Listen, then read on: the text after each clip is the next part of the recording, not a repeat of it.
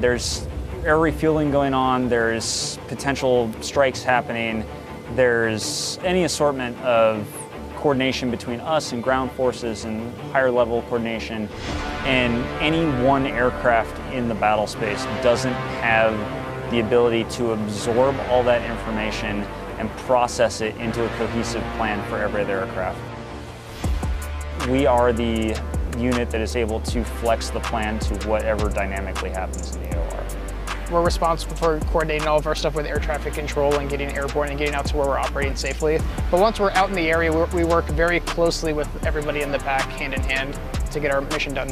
We all each have a little piece of the puzzle and we have to work all in tandem all at the same time and it's almost like a dance that we've all practiced a thousand times. So while the aircraft commander is in charge of the overall safety of the aircraft, I'm in charge of making sure that the mission back here is happening.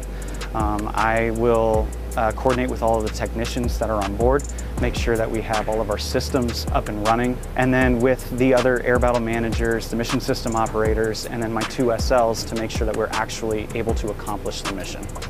Without the mission system operator, the air battle manager will be task saturated. You got it. I'll collect all the data that the system gives me and use that to help identify tracks. If there's something in the airspace that shouldn't be there, that's my job to catch that kind of stuff and feed it to them as they're working directly with the fighters or with the other assets that we have in the AOR. There's a lot of diagrams that you have to work through a lot of lines to be traced, you're going through multiple TOs. It's satisfying in its own way, knowing that we are working on an aircraft that's pushing 60 years old and it's still the best at what it does worldwide. The fact that it is an old aircraft, I like knowing that, that we did that, that, that we put it up, that it's up there, it's doing its job and, you know, keep people safe, finding what it needs to find and doing what it does.